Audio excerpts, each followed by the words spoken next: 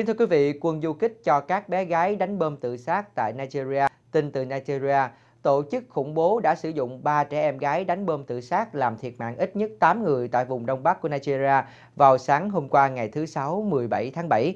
Nguồn tin này nói rằng một bé gái chưa đầy 10 tuổi đã trở thành kẻ đánh bom tự sát tại một ngôi đền ở Damaturu trong khi các tín đồ đang tụ tập mừng lễ Erasmus của người Hồi giáo.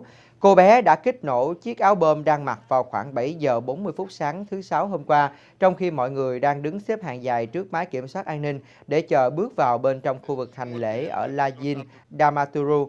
Ủy viên Sở Cảnh sát Banjobe nói rằng có tất cả ba bé gái dưới 10 tuổi đánh bom tự sát bị thiệt mạng, cùng với nhiều người khác trong hai vụ tấn công.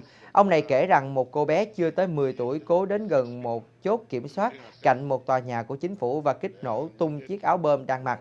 Đây là vụ tấn công đầu tiên mà cô bé gái này bị thiệt mạng cùng với 6 người khác, chưa kể khoảng 7 người bị thương. Tại một đồn kiểm soát ở vùng Kobe sau đó thì hai bé gái đánh bom tự sát cũng vào khoảng 10 tuổi đã hành động tấn công tương tự.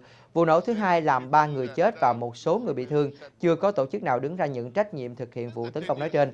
Tuy nhiên, dư luận nghi ngờ quân du kích Boko Haram tiến hành vụ đánh bom này vì đây là chiến thuật khủng bố mà họ thường sử dụng. Giám đốc của bệnh viện địa phương cho hay tính từ đầu năm đến nay đã có 15 người chết vì các vụ đánh bom tự sát tại các ngôi đền do các bé gái hoặc các bà cụ thực hiện. Boko Haram đang kiểm soát vùng lãnh thổ của Nigeria rộng bằng nước Bỉ từ cuối năm 2014.